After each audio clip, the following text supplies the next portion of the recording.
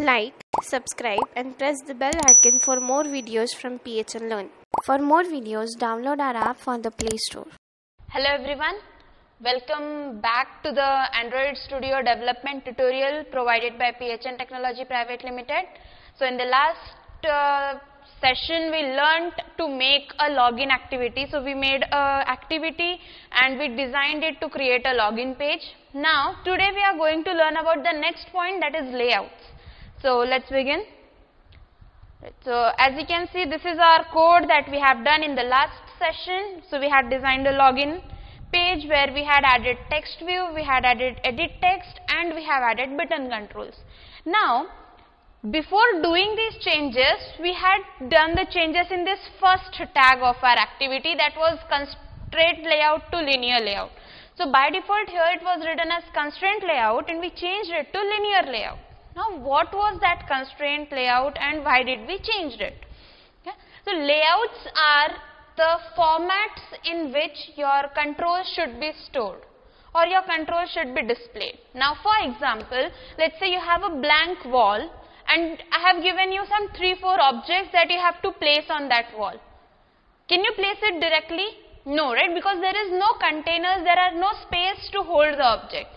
So what we'll have to do is we'll have to create some shelves in that wall. And when we create those shelves, the order in which we are creating the shelves. Let's say if I'm creating the horizontal shelves, shelves or if I'm creating the vertical shelves or I am creating them in a slanting manner, in haphazard manner. So in the way in which you are creating your shelves, your objects will be saved in that manner only. Similarly, our screen here is also a completely blank thing. Okay? It is a blank wall with no any components, no any shelves in it. Now I have to place my components.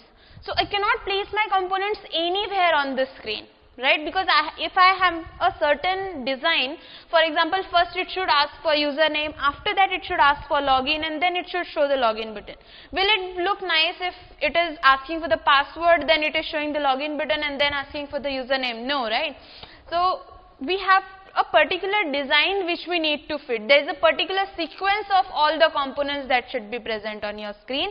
This sequence, all of the things are decided by the layout because the layout provides us the divisions in the whole screen. The whole screen is divided because of layouts. So in Android, we have different types of layouts available. Okay.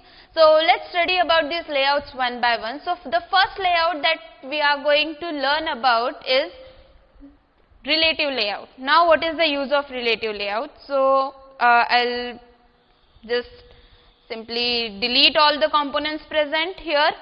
Okay.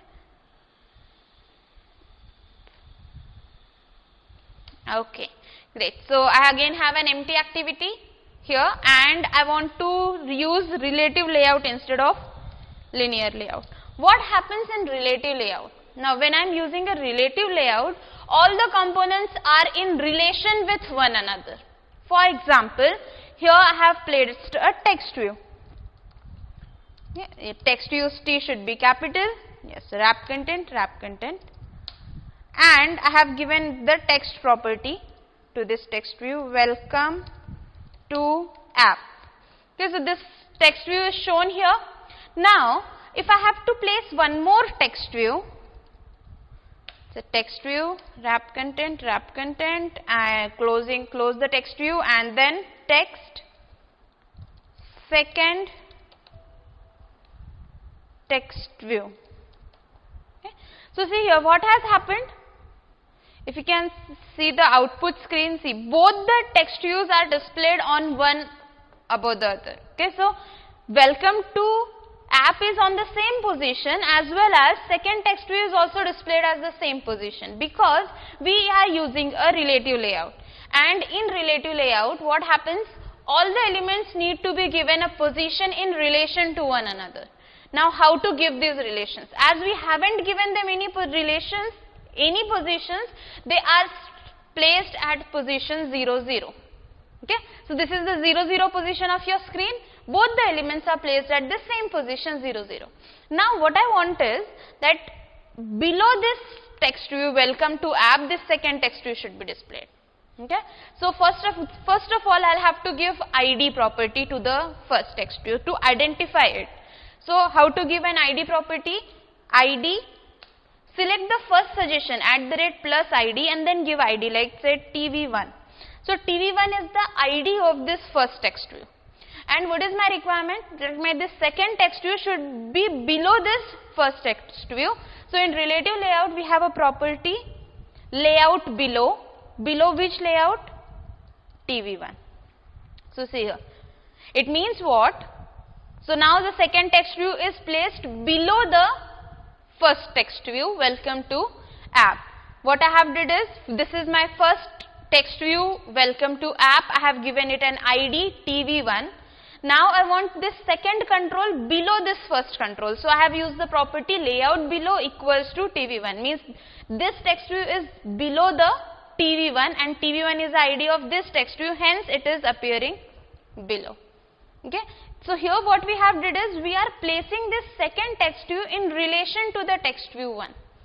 Okay. For example, if now this is the text view 1 text view 1 is placed in relation with the screen okay and this second text view is placed in relation with the first text view now if you have to add a button okay so if you simply add a button it will be added at the position 0 0 okay. I want to place it after this second text view so first of all I'll have to give an ID to the second text view ID take out the first suggestion let's say TV2 now what I want is like this button should be below second text view. So, below layout below what is the ID of the control TV2. So, it is now below text view 2. Okay. This is relative layout. Relative layout is used in case if you are having a fixed design. Now see what is the drawback of this layout is if you have more number of controls to place your code becomes very complicated.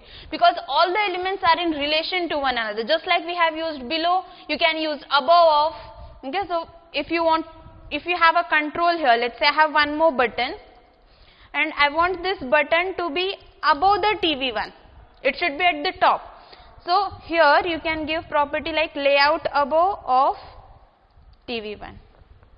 Okay. So it will go above the TV1 but now the problem is our we haven't given any position to the, to the TV1 okay that is why it is at 0 0.